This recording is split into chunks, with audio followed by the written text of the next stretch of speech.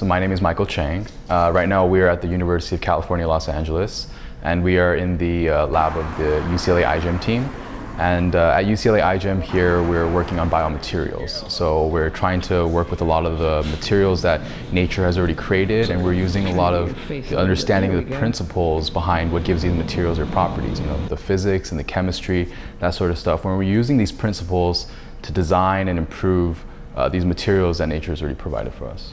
Uh, I'm from Diamond Bar. It's a little suburb east of Los Angeles. Uh, as I was growing up, I was involved in classes, learning about science and mathematics and things like that, but also in orchestra. Uh, so music was a big part of my life as well. So uh, both of my parents grew up in rural China. So uh, you know they, they came from families of farmers, and uh, you know they worked their way up to becoming doctors, physicians um, in China. And then they decided that they wanted a better life for themselves and their family. So they decided to immigrate to the United States.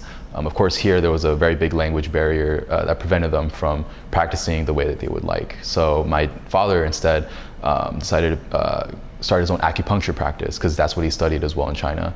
Um, and my mother, uh, she got licensed in respiratory therapy, and so she works in a hospital, um, you know, treating pulmonary illnesses and things like that. Yeah. I'm a scientist because as a scientist we get to create and innovate um, incredibly awesome and new things. Um, it always seems really magical, right? You go into the doctor's office or, you know, you go into an acupuncturist's office or, you know, you see a nurse and they have these things to give you. They have either, you know, medicine to give you or specific treatments and then, you know, you feel better after a while. And like, why does that happen? You know, it, it, it seems all really magical, but at the core of it is science. That's something that my parents really taught me early on and um, that's what really brought my interest in science. There's different types of scientists, right? So there's a type of scientists who like to discover new things. Um, and then there's also the type of scientists, I guess you would probably call them more engineers, uh, that like to take uh, what other people have discovered, you know, these, these understandings and really apply them to create new things, you know, to fix things, to tackle problems.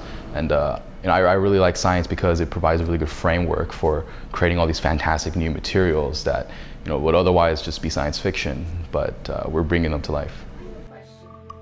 You know, for thousands of years, people have been using silk primarily for clothing and for sutures, things like that. Now, what we're trying to do is we're trying to genetically alter the silk and give it extra properties. My specific purpose in the lab is to take all of the other you know, silk proteins that are produced by the other members of my team and to produce them into actual tangible fibers. So one of the pieces of equipment that I use is a syringe pump.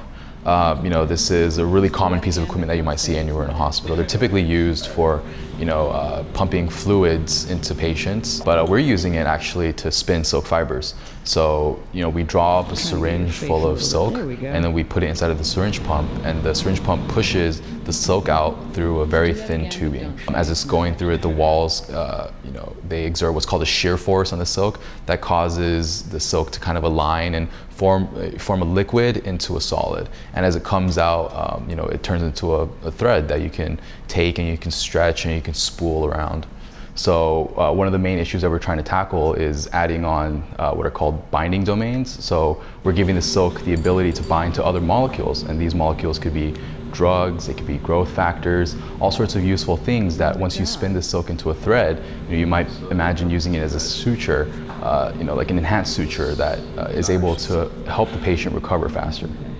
There's so much collaboration going on, so much cooperation going on. You really can't escape it in today's scientific environment. You know, any kind of um, any kind of endeavor, any kind of project is going to require uh, the teamwork of a lot of different people, and there's so there's constant back and forth with communication, um, and so I, I, would say the lab is probably uh, is not a place where you can be alone. uh, my hope is one day, you know, uh, there will be a variety of these different types of silks available for doctors to use. You know, for example, you might oh imagine that you need a specific bandage or wound dressing for a burn victim versus a specific bandage or you know dressing for someone who's been uh, you know burned by acid or something like that. Any types of injuries, you know, they all require specific, unique treatments.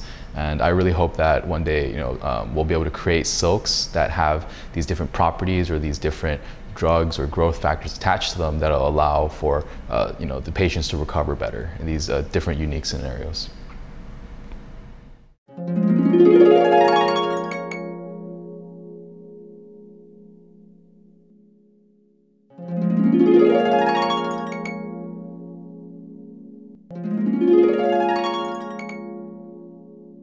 you.